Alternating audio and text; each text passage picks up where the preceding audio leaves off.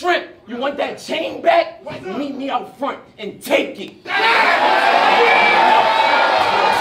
Check, check, check. Is this thing on? Is this thing on? Huh? See, half of y'all is half as nice, the others like to sacrifice. I'm passionately passion passion so I can get the pastor's price. Cause you're gonna do when I'm coming through. Check this out. Salute to the Battle Academy first and foremost. Salute to my guy Showtime SP. I want to talk to y'all about this card, Respect the Shooter. I'm just gonna um, go through the whole card, give you my winners, my losers. Um, I, I did it in a live stream, but I want to break down every single round that I've sketched about in order to break things down and talk about them the way they really need to be talked about. Um, put things into perspective for people who haven't really got to either watch the pay-per-view or order it. You can order the pay-per-view. And I will just give you my whole everything. You know what I'm saying? We'll just leave it all out here. And um, it is what it is. So there's positives, there's negatives. You know, I'm be honest with you. There are some positives, there are some negatives. Some of these battles on this card were not promoted as one round battles.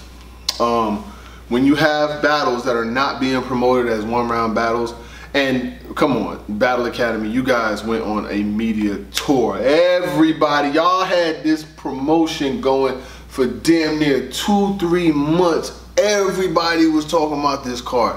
You couldn't find a media outlet that was not talking about this card. So y'all had more than enough opportunity to get the word out on which battles were one rounders versus which ones were not. So that's first of all, that type of shit is whack. I'm gonna be honest with you, it was whack.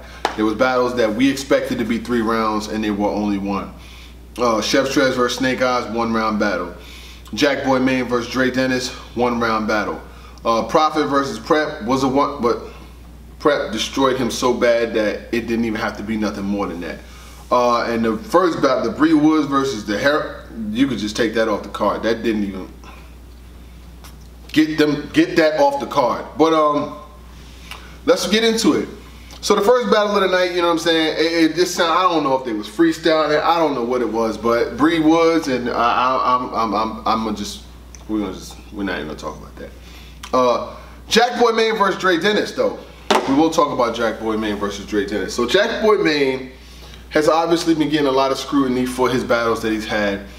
Um, started with John John Da Don, then went to uh, franchise, and now he's in this battle right here.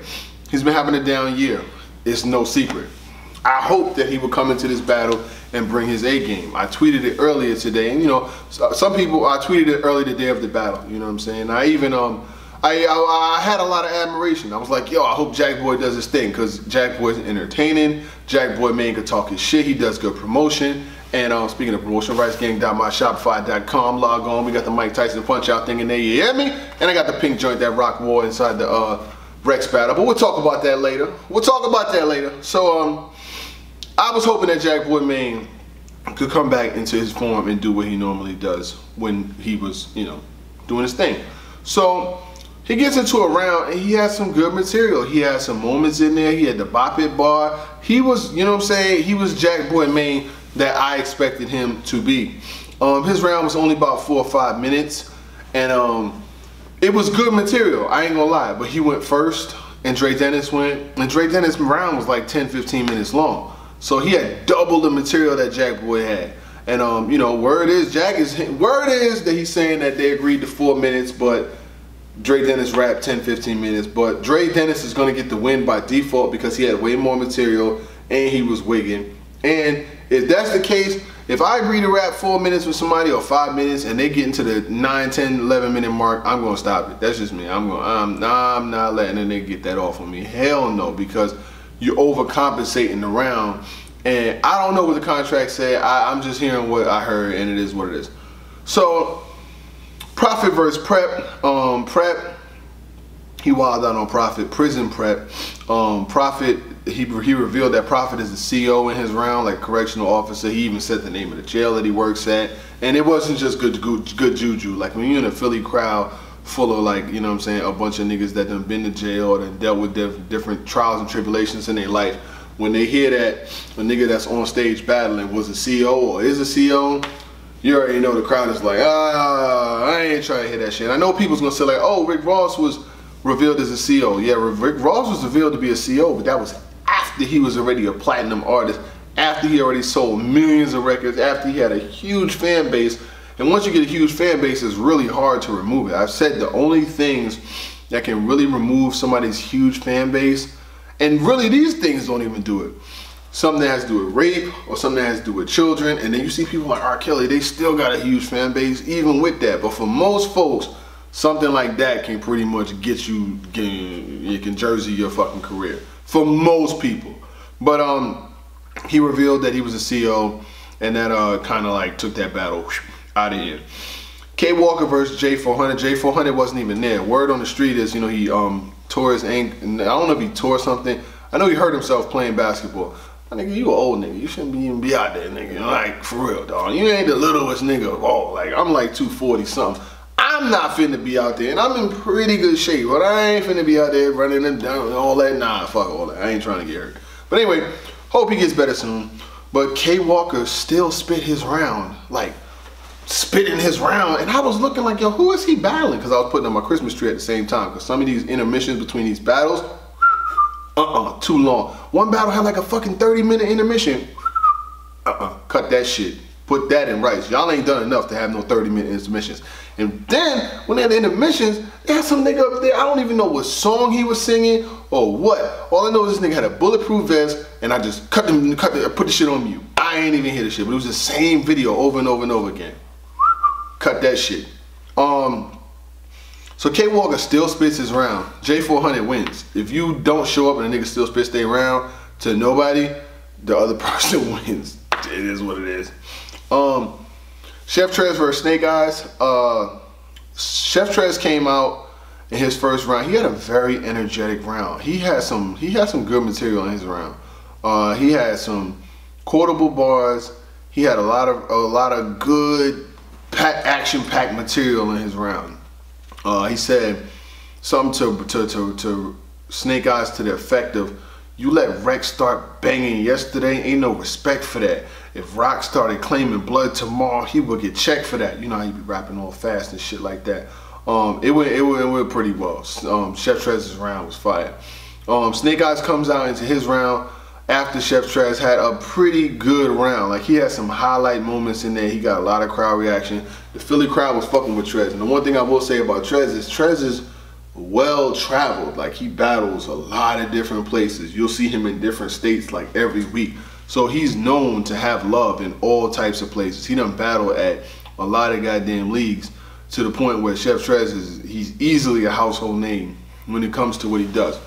So Snake Eyes comes out in his round and it's a lot of aggression. I'm not gonna lie, it's a lot of aggression. You know what I'm saying? He uh, he has some presence, but the bars, like the the material, is not really it ain't really like right crazy like that. You know what I'm saying? Like the the the the, the, the fucking the intellectual thoughts in the rhyming process is not really like that. You know what I'm saying? And no disrespect to him or no disrespect to anybody, but the writing level is level like Chef Trez's writing level was way above his. Like even with the battle that he had with Mike P, like he had a couple moments in it here and there, but the writing level is when you're dealing with this type of when you're at this level right here, everything is gonna come to the surface. Like it's not just you could rap about you've been the hardest nigga, I did the most time and all of that. That should be cool, but when it comes to the levels of writing, they will they usually will surpass each other. And until he really starts, he did he did good versus Ace Amin.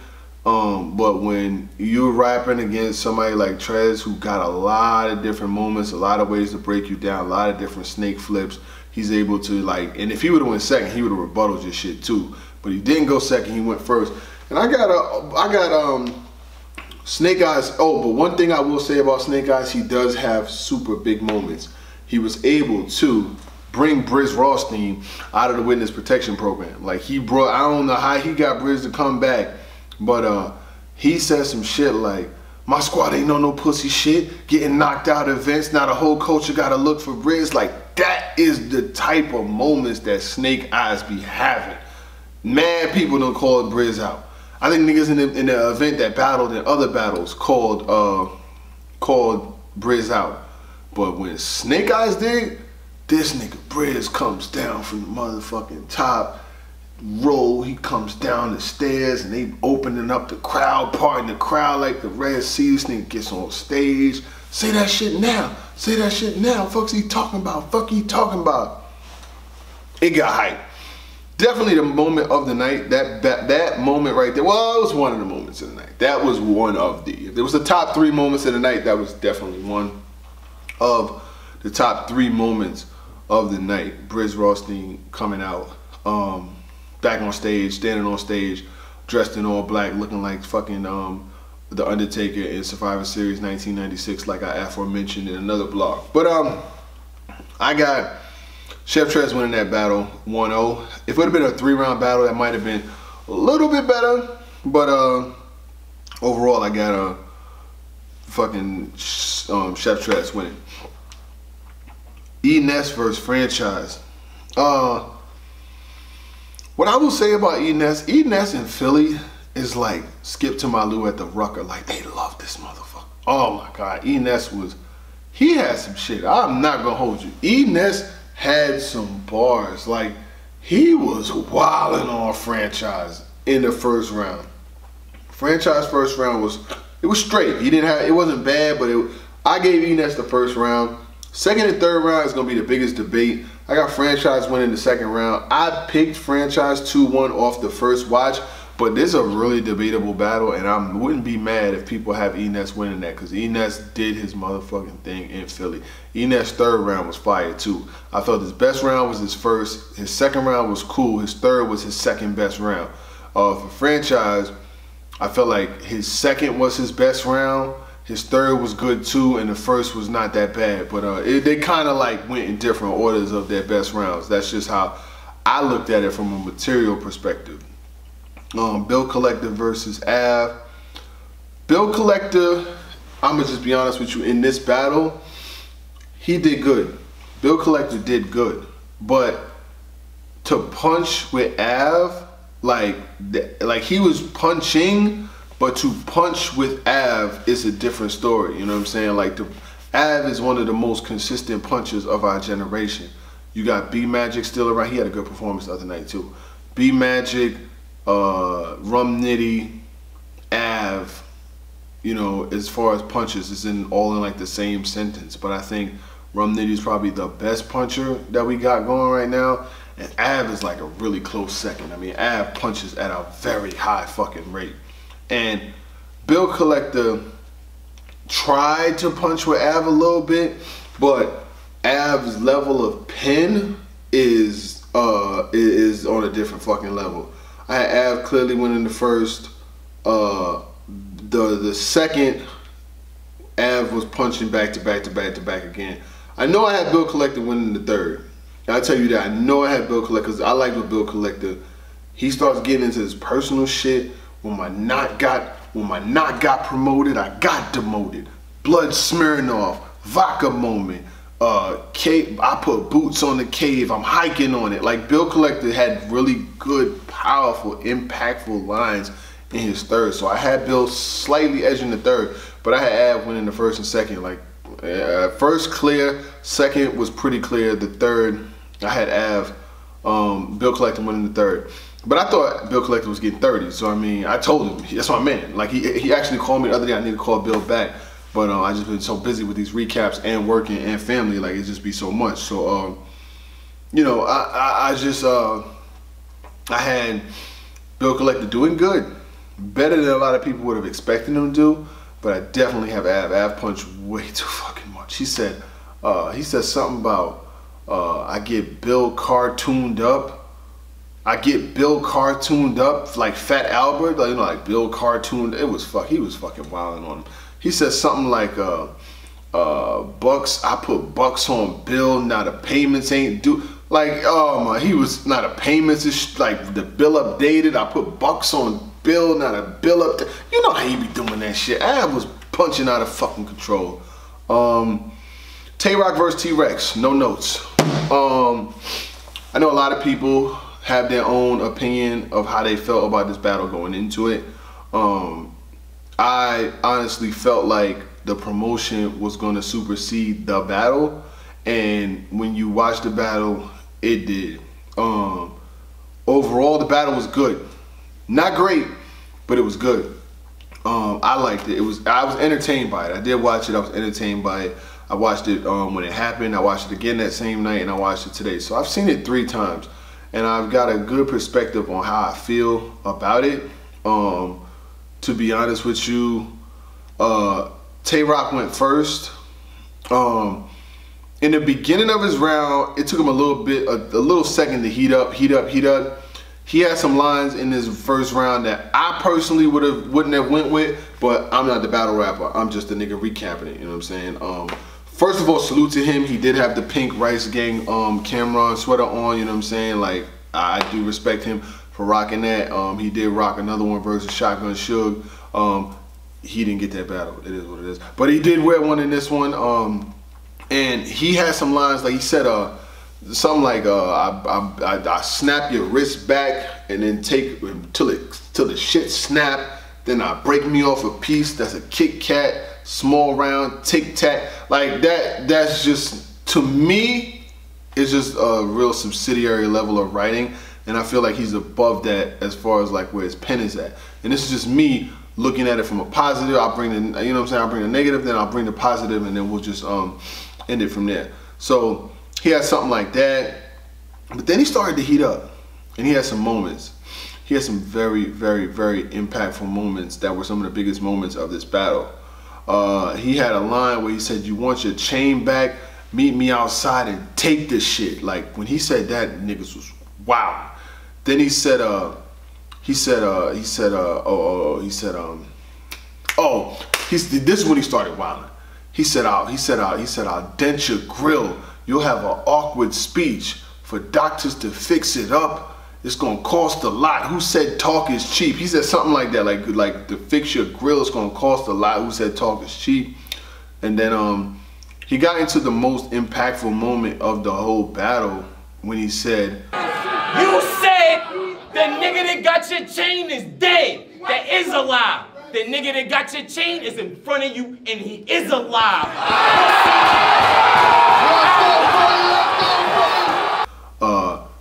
You said the nigga that took your chain is dead. That is a lie. The nigga that took your chain is standing in front of you and he is alive. I am alive. Like, although that's not no super duper lyrical shit, it was very impactful.